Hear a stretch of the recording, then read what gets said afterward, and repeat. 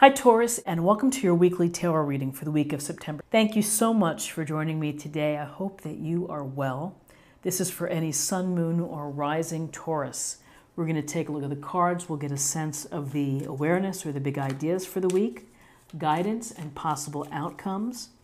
I will also choose a few oracle cards for additional information. So let's just go ahead and get started.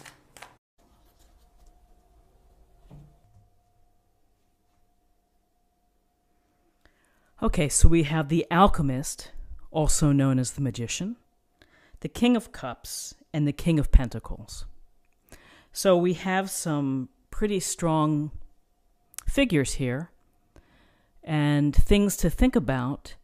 What strikes me whenever I see the alchemist or the magician, I think it's an exciting card. I think that it speaks to all of us from a soul perspective which is finding your path in life and what it is that makes you tick and that makes you happy and that makes you feel alive. And so, with the magician, we understand, and the alchemist, we understand that we have to create that magic and that we have to create that path and take the steps to walk down that path. And so, you may have wonderful ideas that maybe have been percolating for a long time, and maybe you've set them off to the side because you feel that your regular life doesn't allow for that opportunity. And the alchemist here would be telling you to find a way to put things together, to mix it together. And if that means doing something that you love, say, for example, you want to become a photographer or become more serious with becoming a photographer, maybe you start to do things uh, in your spare time, or you start to develop your contacts, whatever it is, or you develop your skills, you're taking action toward the magic that you want to create in your life. And it's a very powerful message because with the alchemist, it's saying that you have the resources that you need, you have the tools at your disposal. What's important is what you choose to do with them, and it's your choice of how you make the time and prioritize and to, uh, I would say, to visualize your hopes.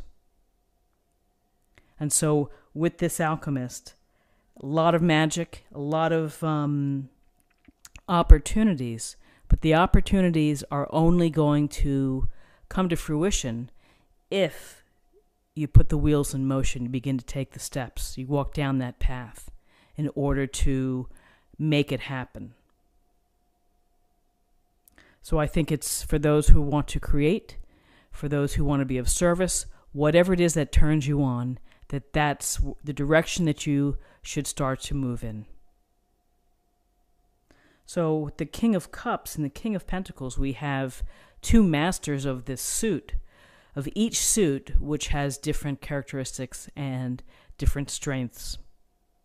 With the King of Cups, we have someone who is so in command of emotions and healthy emotions. I would say having emotional intelligence, um, of knowing the right balance, the, ra- the right mix of emotions to be served or to be dealt with within a situation. So, if I think about this on a practical level, uh, just give you a, a, a small example. Is that this has been my first week back to school distance learning. And there have been a lot of frustrations with technology and without getting it resolved. And it's it made me very frustrated, made me very angry. And it's like, what do I do with all this anger and un- feeling unsettled? You know, it's not helping anything. And so it's taken some time to just kind of back off and to not get overly emotional about things that I can't control. So, for some of you, maybe that applies this week, or it's something that you need to think about. But it's the king is a master of emotions, someone who is sensitive, aware, receptive, all of the words like empathy, compassionate, um, all wrapped into one. Someone that you would feel very safe in talking to and getting your, you know, the emotional temperature of a situation. For some of you, again, maybe it's going to someone that is like this figure within your life, that you need someone to talk you down off the ledge.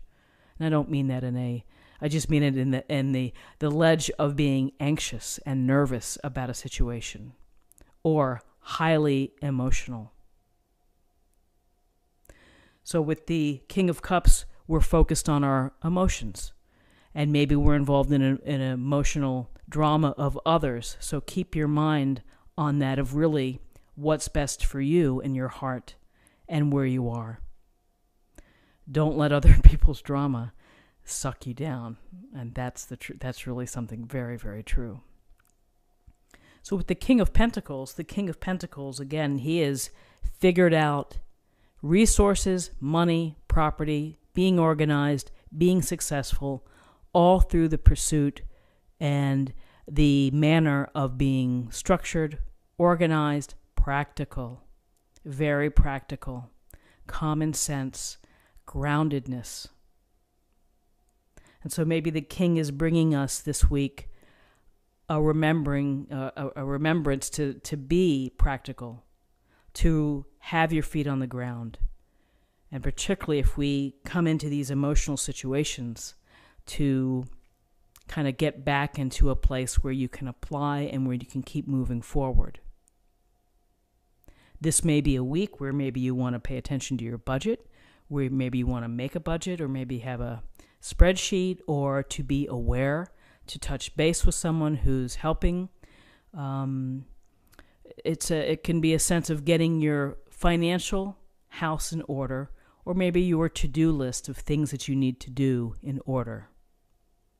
I would also say that with respect to the alchemist in this reading, is that the King of Pentacles might be the encouragement to you to sit down at the table and if your desire again was to be a great photographer, is to list out or to break out or to put into writing, to make it a realization for you of this is how I'm going to get to that place. This is these are the things that I can do.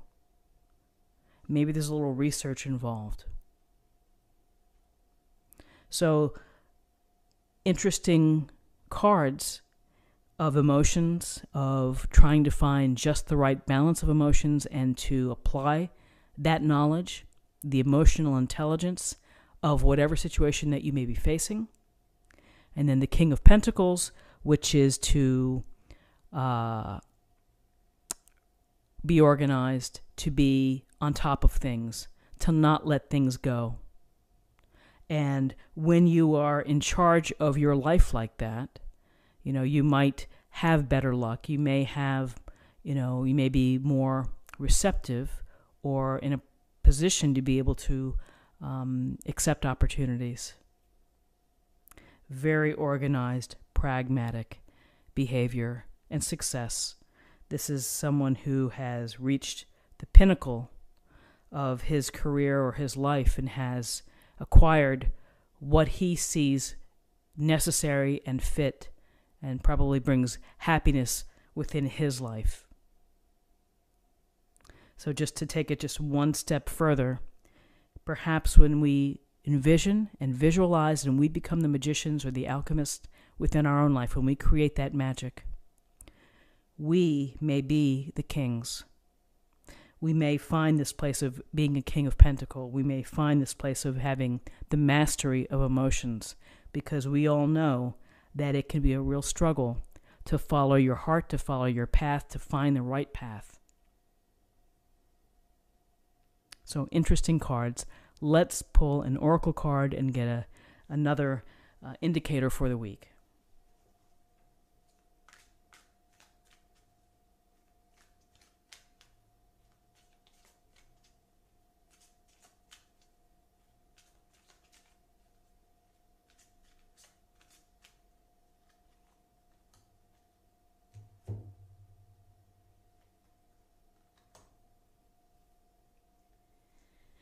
Fear. I realize that I'm testing my resolve to live in the energy of love. Well, that's this is a very loaded oracle card. because there are lots of folks who live in fear. They lived in fear prior to what's happening with the coronavirus. And um, perhaps fear has, has stood in the way of pursuing your dreams as the magician. So, fear is always a tough idea because we all have fears. It's natural. Some fears are more uh, obstructive than others, some are more destructive. But when you, I think there's a great book, I can't remember the title, something about facing your fear and do it anyway. Um, you know, it takes time, but it's to be mindful that we do have these fears and to find a way to to use it to your advantage. If you can to make it into an asset, it's to understand, yeah, I have this fear about this. What can I do to resolve it? What can I do to make it less threatening or less hurtful? Again, or less um, where, where it gets in the way of me fulfilling my purpose and my passion and my ability to be the best person that I can be. Live in the energy of love. It's a simple idea, but a powerful idea, which is to try to find gratitude and love within your life. So I hope that you found something helpful here today. If you did, leave me a comment. Let me know how you're doing. Like the video. And I will see you again. Take care and be well. Bye bye.